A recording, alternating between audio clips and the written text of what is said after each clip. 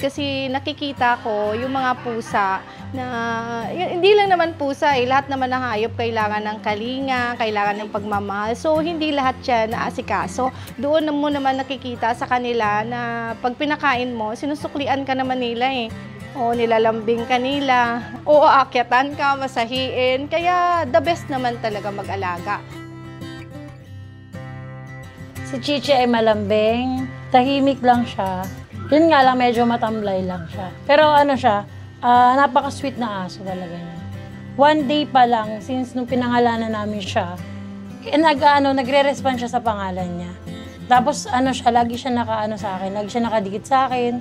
Pag nakita niya ako nakahiga sa lapag, tumatabi siya sa akin, yun. Tsaka napakalambing niya talaga.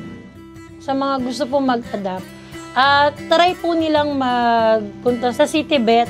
Marami po tayong mga dogs na pwedeng maampun doon. Maganda po yung mag-adapt ng mga pinapabayaan na aso or yung mga sinusurrender na aso. Ganyan. Kaysa bumili tayo. Kasi nakakaawa naman yung pakalat-kalat sila sa labas.